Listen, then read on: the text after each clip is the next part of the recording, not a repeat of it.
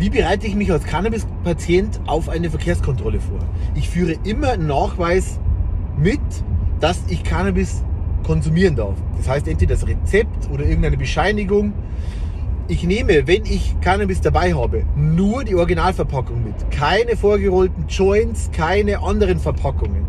Und drittens, ich spreche mit der Polizei nicht über meine Konsumgewohnheiten. Kein Beikonsum, keine Alkoholgewohnheiten, kein Wort über die Konsumform.